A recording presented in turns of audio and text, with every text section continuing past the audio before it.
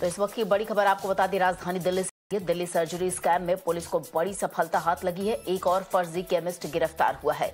धोखाधड़ी के आरोप में केमिस्ट गिरफ़्तार किया गया है। और इस पर और ज़्यादा डिटेल में जानकारी लेने के लिए हमारी सहयोगी इशिका इस वक्त हमारे साथ जुड़ गई है। इशिका, निश्चित तौर पर एक बिग डेवलपमेंट के तौर पर इसे देखा जा सकता है और क्या कुछ अपडेट है?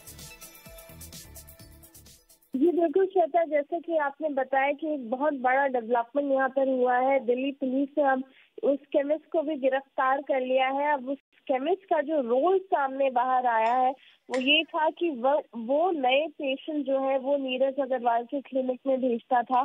इसका क्लिनिक संगम विहार में था और इसके पास भी लाइसेंस नहीं था दवाई बेचने का।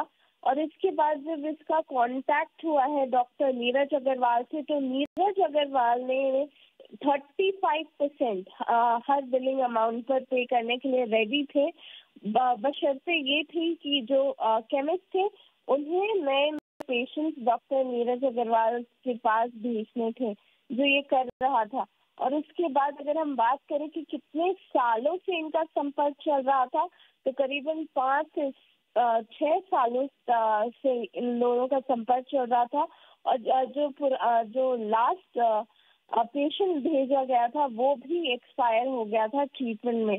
तो ये करीबन अभी हम देख रहे हैं, ये अब काफ़ी बड़ा डेवलपमेंट हुआ है। अभी आगे और देखना होगा कि और कौन कौन से नए चेहरे सामने आते हैं, जैसे ही दिल्ली पुलिस की इन्वेस्टिगेशन आगे बढ़ती है।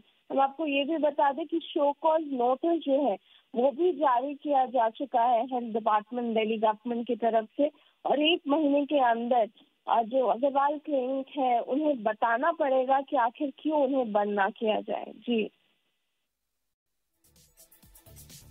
जी, बिल्कुल, रिश्का, आपका बहुत बहुत शुक्रिया इन तमाम जानकारी के लिए।